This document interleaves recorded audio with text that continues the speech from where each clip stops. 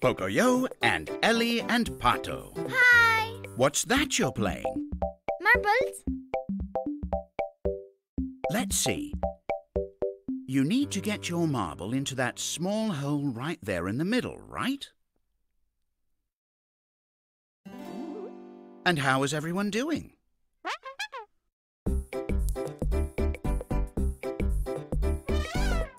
What about you, Pocoyo?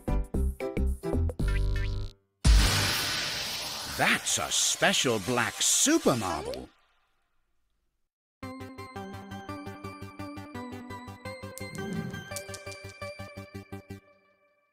Oh, I'm sorry, Pocoyo. You almost had it. Well, whose turn is it now? Wait! What's happening? Yay! Yes, Pocoyo, but how did your marble move all on its own? I think you've discovered a black hole.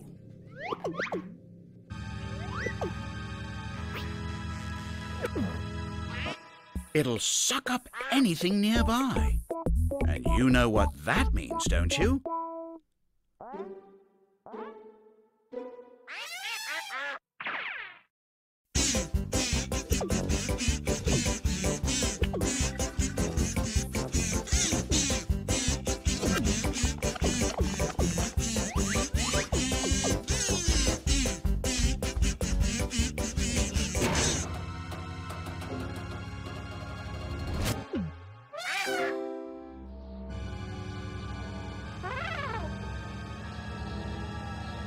Pocoyo, this is no time for dancing.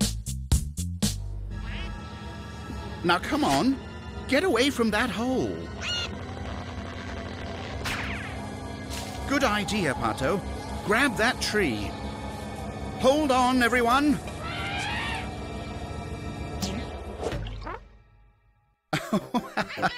this is rather funny, isn't it?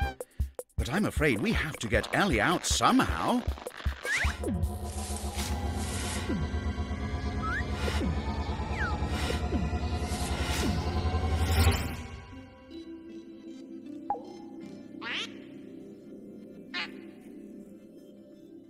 Can anyone switch on the light? Well, that's a relief. Everything seems to be fine, except for one minor detail. All the colors are reversed. Pato, you're not yellow anymore. Now you're purple. And Ellie, now you're green. You'd like everything to go back to normal, wouldn't you? Well, maybe there's a way. Are you thinking about how to get back to your world, Pocoyo? Well, you know, maybe your black super marble is the key. Maybe it can take you back home.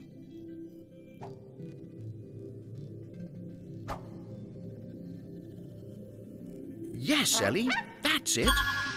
In this world, Pocoyo's black marble would be white.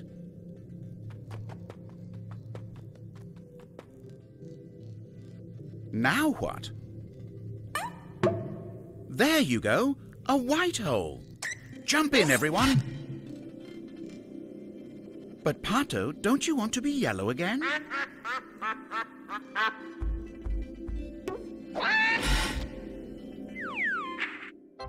This certainly isn't your world. You're all made of paper. You'd better find that marble.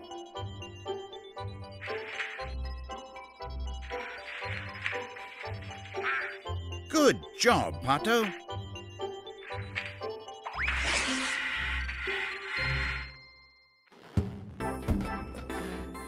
Oh my, you're balloons now.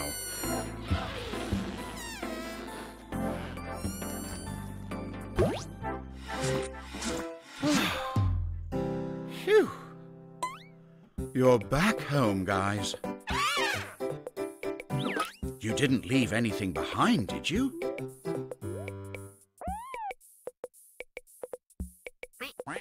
That's a good question, Pato. What should you do with it?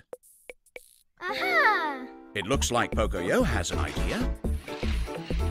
A rocket?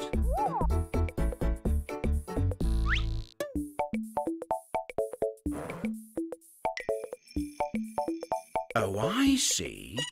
Well, then I'd better start a countdown. Ready? Three,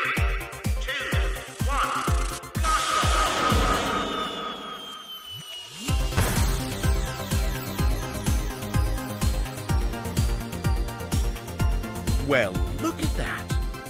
It's a magical nighttime. See you soon.